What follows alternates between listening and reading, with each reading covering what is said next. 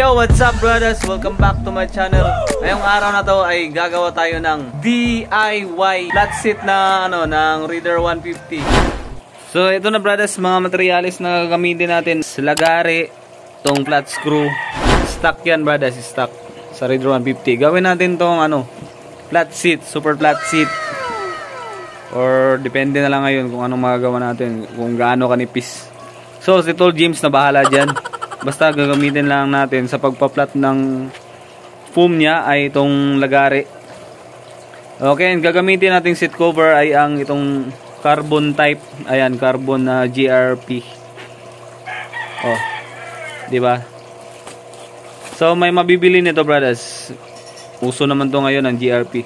Mag street GRP tayong DIY GRP tayo, brothers, sa ating bibuild na motor. Tapusin natin 'to hanggang sa uli para malaman nyo rin kung saan kami nagpapatahi. Papatahin natin yan brothers mamaya.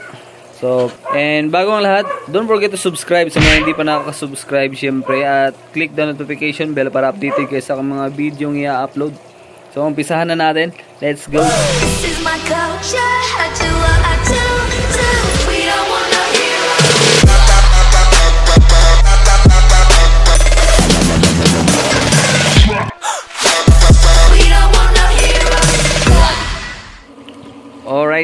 So ayun brother, ay tatanggalan muna ni Tagalog. Shout out kay Tagalog. Hmm. tatanggalan muna yung ano, tatanggalin niya muna tong lumang seat cover ayan. Kailangan natin ng flat screw. Okay. So genuine 'yan, pati mga ano brothers, mga rubber niya, stock na stock. Kasi nagre-repaint pa si Tol James. Unahin niya muna to para mamaya pag okay na tabas na lang tapos depende na lang kay Tol James mamaya ipapakita natin dito sa video.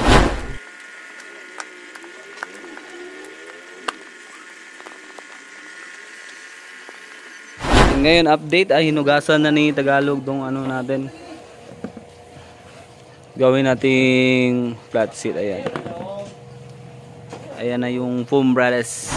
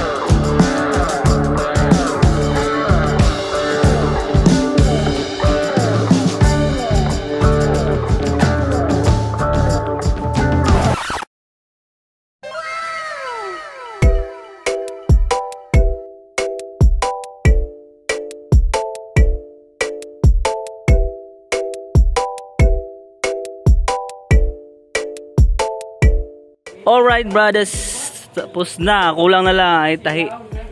So, thank you Tol James. Sa mga gusto magpa flat seat dyan dito sa Jensen at Pulumulok, hanapin nyo lang si Tol James. Ilagay ko lang sa description box ng kanya, ang link na kanyang Facebook account, brothers. Direct PM nyo na lang or direct message nyo na lang, brothers. So ngayon ay pupunta tayo kung saan ako nagpapatahi sa mga nagtatanong dyan dito sa Jensen at saka Pulumulok. Basta mga malapit lang dito sa amin, mga taga-tupi. Abangan nyo lang tong vlog. Pupunta kami sa tatahin ito. So ngayon, let's go.